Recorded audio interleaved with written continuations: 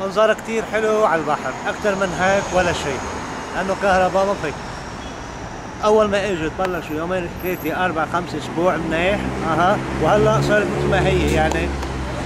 كمنظر جمال كثير حلو. في عنا وسائل بلبنان بنقدر نستفيد منها نعمل كهرباء من دون هالفيول من دون هالقصص كلها. ليه ما بنستفيد منها؟ مثل المي الطاقة الشمسية اللي حرقتنا اليوم في مطارح في كتير هواء مصفى هواء كمان الإيوليان بتزبط بالنسبة لإلي ما بعرف في شي مشكلة لهي قصاير بالموضوع. يا أما الأتراك مش فهمانين علينا يا نحن مش فهمانين على الأتراك.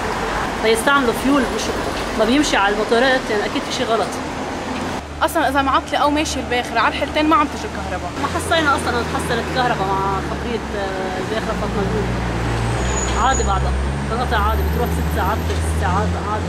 نحن بمنطقه المتن الشمالي ما في مشكلة عندنا. رأيي إنه لو حدا بده يجرب يسعى تيظبط شيء بالبلد مثل الكهرباء ما رح يخلوه. كل حدا عم يجرب يشتغل لل... للسلاح عم بي... عم بيطيروه من الحكومة. في أطراف سياسيه وأنا بموضوعيه عم بحكي بمناسبه شوه صوره وزير الطاقة قدام العالم إنه هو موفي بوعوده فهذا الشيء كثير طبيعي. وعادة السياسيه بلبنان كثير بخوضوا ببعض حسب مصلحة المواطن البلد كلها بوزاراتها وإداراتها مشلولة ما في شيء لا رقابة مسبقه ولا رقابة لاحقه للأسف يعني.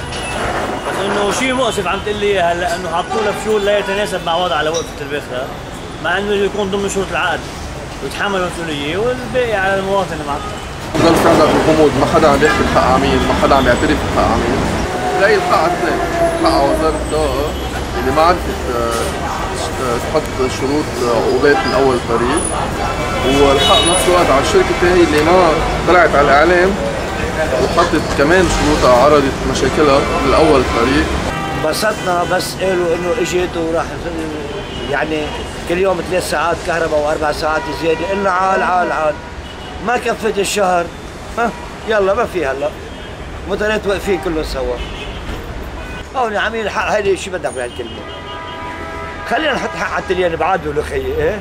هن اللي هي هن اللي نزعوها أساسا. حطوا فيول مضروب وهي حطوا فيول مضروب بده يجيبوا كهرباء هن بسطونا شوي صغيرة ورجعوا خربوها علينا. بعتنا لبنان كله. خلص ما تعودنا بلا كهرباء يعني. اجت فاطمة ولا اجت ليلى والزاب ليلى والذئب يعني. خلص عودونا على هالشيء